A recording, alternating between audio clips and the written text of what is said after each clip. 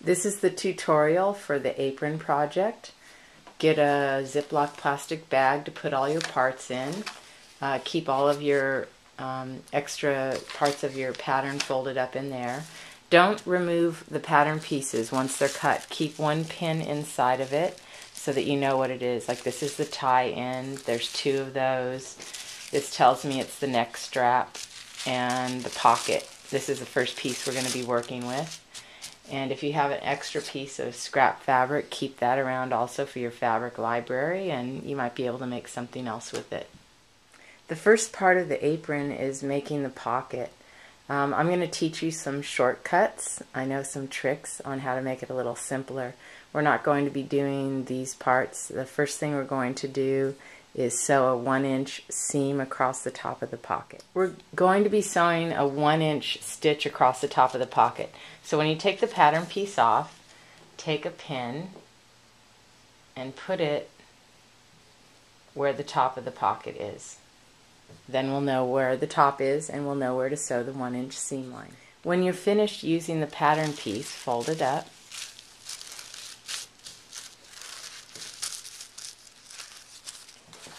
and place it back inside the pattern envelope. The first step in making the pocket is to just sew a one inch line across the top. The pin tells me this is the top of the pocket. The one inch line is the furthest line on the stitch plate. You don't need to back stitch because you're not holding two pieces of fabric together. Drop the needle down. Line up the fabric with the last line on the stitch plate, that's one inch.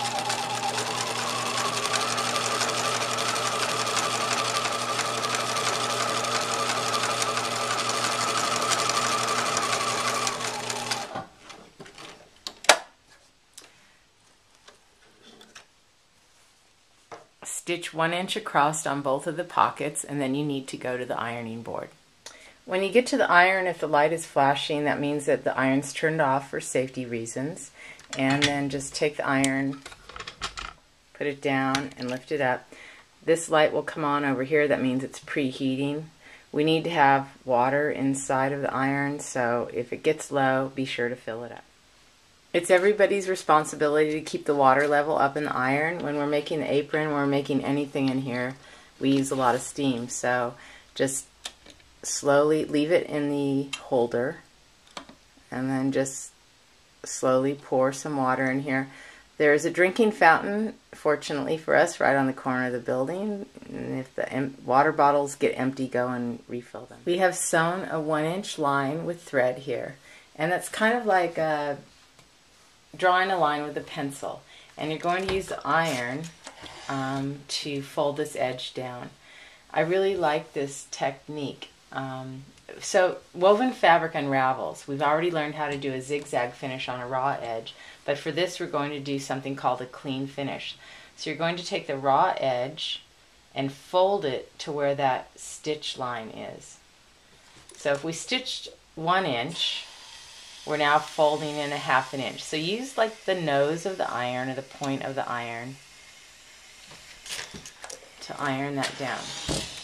So we now have folded in a half an inch and then that line will be the line that you're going to fold on. So I'm folding exactly on the stitch line. Use your fingers to hold it down. And then iron right across there. And now we have what's called a clean finish. That's where you fold the raw edge under and you're going to go back to the sewing machine and stitch exactly close to that edge right there to create a hem. Now it's time to hem the top of the pocket. So you want to stitch as closely as possible to that edge that you folded under. So we folded to the stitch, folded another again to create a clean finish, and we're going to stitch that down.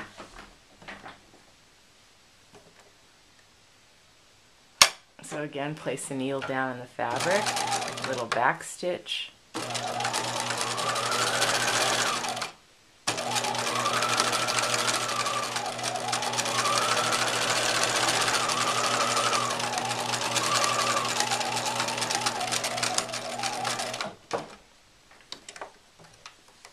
And now you've hemmed the top of the pocket. After you've hemmed the pocket, it's time to sew the rickrack on. So unwrap the uh, rickrack and place it. The first, the first row is going to be placed right on top of where you stitch the hem. So that should be about half an inch down. Measure it out and cut it. You can cut a little bit extra um, so you make sure you have enough to go across. I'm going to change um, my thread to red. I've been sewing with kind of a brown color to match the apron, but now I'm just going to change the top thread. I don't have to change the bobbin, so the thread will match the rickrack. It's a little bit awkward to pin the rickrack. Um, it's going right on top of where you just stitched. So for me, I just kind of eyeball it and I lay it right on top of where I stitched. The other thing that feels a little funny when you're sewing the rickrack is that it's it's wiggly. So what I do is I try to place it right in the middle of the presser foot and go straight down the center of it. So I place the rickrack in the center of the foot, um, put the needle down, do a couple back stitches, and go forward. So I'm looking at where the stitching is for the hem and I'm laying the rickrack right on top of that and I'm keeping it in the center of the foot. So I'm just going down the middle of the rickrack.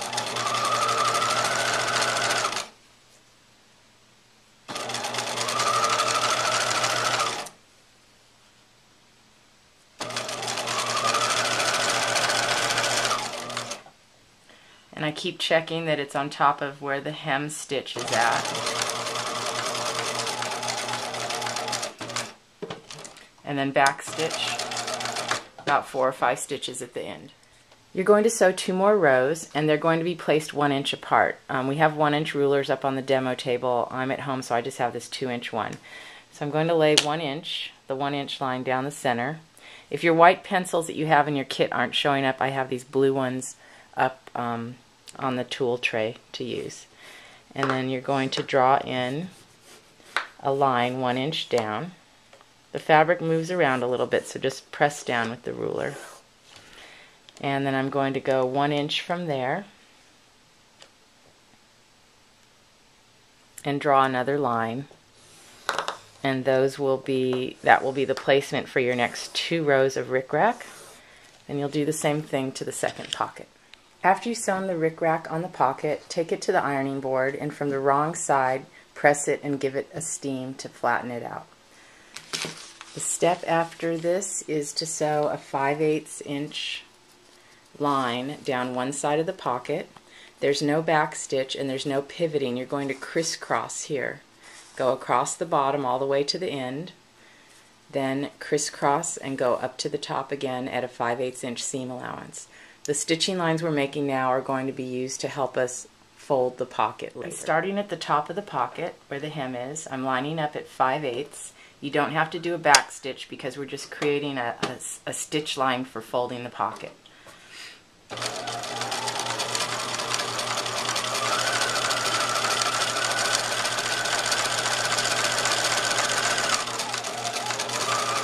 You're not going to pivot. We need to make a crisscross line at the bottom of the pocket. Go all the way to the bottom.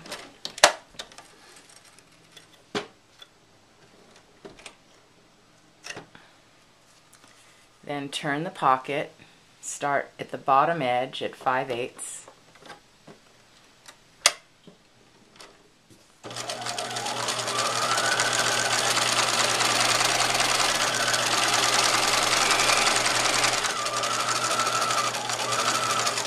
So, so all the way to the end of the pocket. And then again line up the next side at 5 eighths so that you your stitches crisscross each other. After you've stitched the pocket and you've created this crisscross here at the corner, that's a guide for you to fold up the fabric and iron it in place at a diagonal. This is called a mitered corner. So I'm going to fold exactly where the crisscross is at, right on the X, and you'll see that your stitches will match up to each other. Then you're going to iron that corner down in place. And then very carefully, you're going to clip this triangle off right here from stitch to stitch. And that is going to make it so that when you fold along that 5 8 inch line where you stitched it, you fold it up and you iron that down. and you fold in the side and you iron that down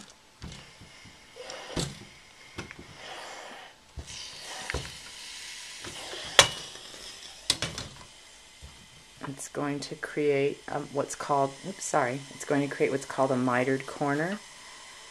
So it's going to look nice and neat on the outside of your pocket. Here's a closer look at what that will look like when you iron it up. You iron it up so that the crisscross thread is right there and these threads are lined up. And then you're only cutting off this little triangle from thread to thread from stitch to stitch that's the only part that you should be cutting off. The best way to iron the pocket is to fold the bottom along the 5 8 inch stitch line first. Then you can fold in the side and make your nice mitered corner.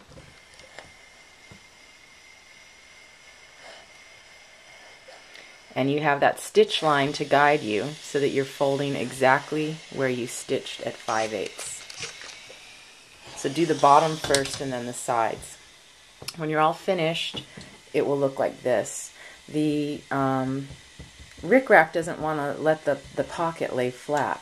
So what I like to do is go and stitch this down to hold all the flaps in. And when you're done with that, you can go ahead and pin it onto your apron.